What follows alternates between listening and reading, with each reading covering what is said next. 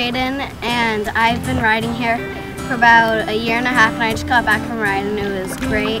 I was riding one of my favorite horses, Frito, and I was running on him bareback and I can run like this with no hands. My name is Adrian and this is my second time riding. I rode on Rusty, which is a 16 year old horse? Yeah, he's an Appaloosa. Yeah, an Appaloosa.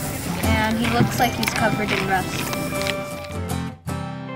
Hi, my name is Symphony and I've been riding here for about two years maybe. And um, I just got back from a ride and I was riding Lightning and I jumped her and I and she reared up.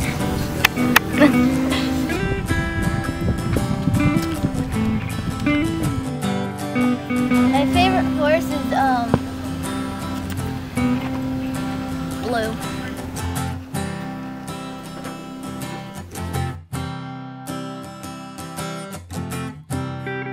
Hi, my name is John and this is my daughter Jenny. We're up here in Palos Verdes at the Wagon Wheel uh, Ranch, horseback riding. My daughter loves to come here, it's so much fun. She learns how to take care of the horses, she goes on rides. It's like being in a real ranch and we're right in the middle of Palos Verdes, in a beautiful Palos Verdes. Come on up here, your daughters will have a blast.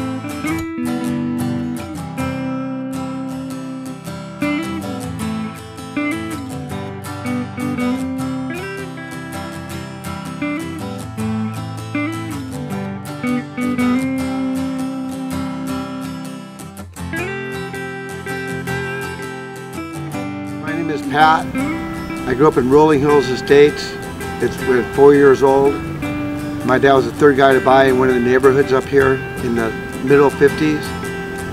And we were lucky enough to have a swimming pool in our backyard and all of our neighbors had horse property except for us. Not all of them, but a lot of them. And um, kind of had a deal that um, they could go swimming in our pool if we could ride their horses.